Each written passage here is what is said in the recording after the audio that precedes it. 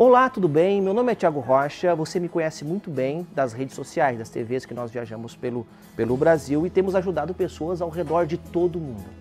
Hoje eu quero falar sobre o sal do Himalaia, alguns detalhes sobre ele muito importante.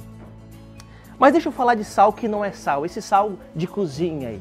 1,6 milhões de pessoas morrem por ano em todo o mundo vítimas do excesso de sódio que é uma das composições principais desse sal, que não é sal. Você sabe muito bem, está, está ciente de tudo que eu estou falando.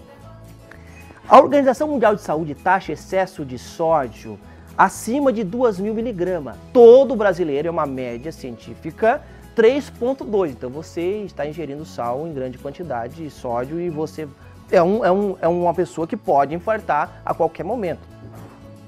Que, que você precisa fazer? Entender que tipo de sal que você vai usar. O melhor sal do mundo é o sal do Himalaia. Ele tem 88 minerais, mas você não vai acreditar. Você, você acredita que eles estão falsificando o sal do Himalaia? Isso é uma coisa muito séria.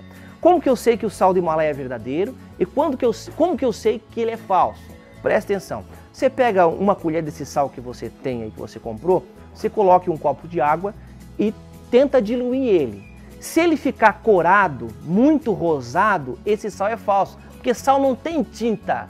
Sal não, não existe soltar tinta no sal. A própria coloração dele é uma coloração natural, de onde ele foi extraído. Então o sal do Himalaia tem que ter uma coloração bem sensível. Muito cuidado com o sódio. E, ao contrário do sal que não presta, o sal do Himalaia vai regular a tua pressão, tem 88 minerais. É uma boa pedida para quem quer viver bem e por muitos bons longos anos. Abraço e até a próxima.